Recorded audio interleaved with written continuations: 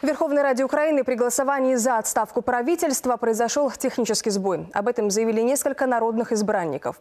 В частности, Игорь Луценко, депутат от фракции Всеукраинского объединения «Батькивщина», написал на своей странице в соцсети, что его голос не учли. Политик пытался проголосовать за отставку правительства, однако его карточка не сработала. Аналогичная ситуация произошла еще у нескольких депутатов. Они призывают провести повторное голосование. Напомню, что накануне Верховная Рада не смогла отправить правительство Яценюка в отставку. Резолюцию о недоверии правительству поддержали всего 194 народных депутата.